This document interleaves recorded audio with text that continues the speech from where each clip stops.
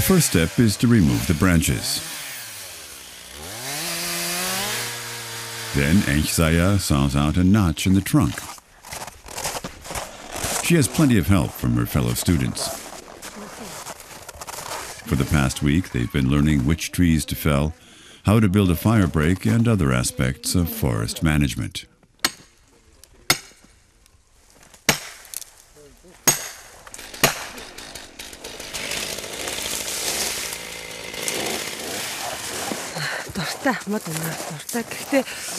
I really enjoy the work outdoors. Cutting up a tree trunk isn't hard at all. Making sure you don't damage other younger trees is the tough part. Most people think it's a job for men, but I'm learning how forestry can also be a nice profession for women. It's not just about cutting down trees, it's also about cleaning the forest. We're in Selenga province in northern Mongolia, 200 kilometers north of the capital, Ulaanbaatar. This forest, comprised of fir, pine, birch, and larch trees, is used for training purposes. Budding foresters from the town of Zuunkharaa come here every couple of months for field experience. The mountains of Selenga extend to the southern border of the Siberian taiga. The famed coniferous forests are retreating north, however, as slowly but surely they shrink. Climate change has been a primary factor. As temperatures rise, permafrost thaw increases. Excessive moisture causes tree roots to start rotting, and then the trees die. That in turn endangers the natural habitats of deer, bear, wolf, and moose populations. Mongolia has beautiful forests. They're natural, not created by man. They're home to all manner of plants and animal species. I'm happy to be here and would never move to the city. Even if I had the chance to travel, I'd prefer to stay in the forests. I could never be happy living in the city.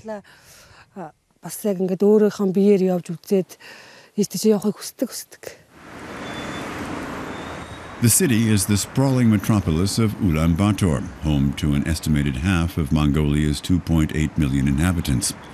And they need wood and other raw materials for building and heating. The country's economy has been booming for years.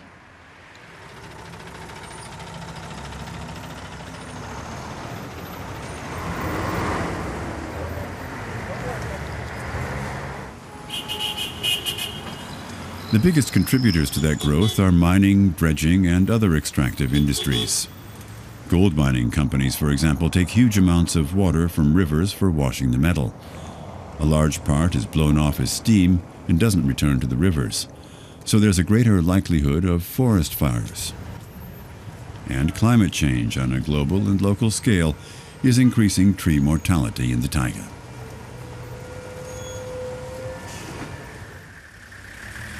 Out in the countryside, the German development agency GIZ is on the ground to combat deforestation in Mongolia.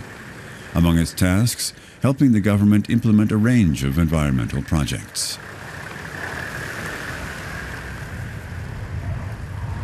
The Parliament and Ministry of the Environment have introduced reforms to the law and set up a nationwide plan for addressing the challenges of climate change.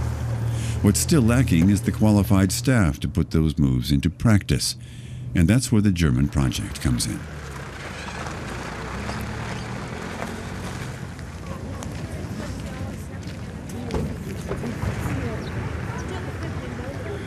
Zuunkharaa, where the taiga turns into more temperate grassland or steppe, is home to the region's largest vocational college.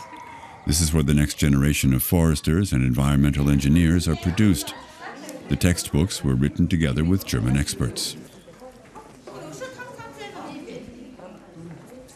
Trainees learn how to nurture young trees and create and expand nurseries, and how many trees per hectare they can harvest sustainably. That expertise will also be passed on to their successors.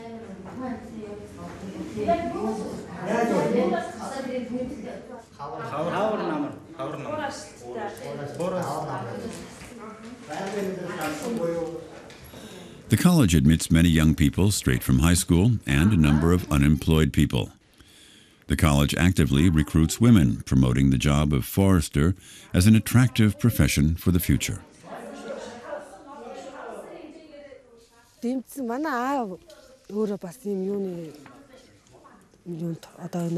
My parents were very happy when I told them I wanted to become a forester.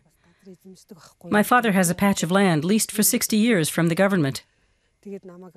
Every time I come home from school, my parents give me more encouragement.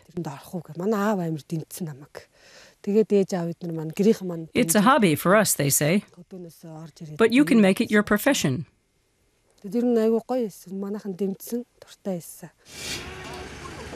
The college also has cooperative programs with partner companies, such as this sawmill.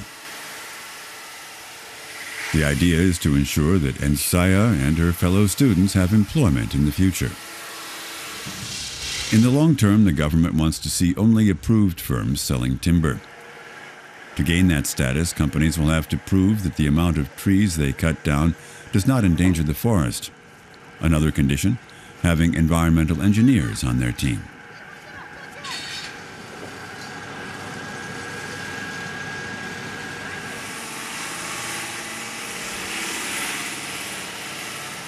Mongolia needs almost 3,000 experts to make the plan a reality. A third of that quota is set to be met within the next three years. It's their input that could determine whether the taiga survives.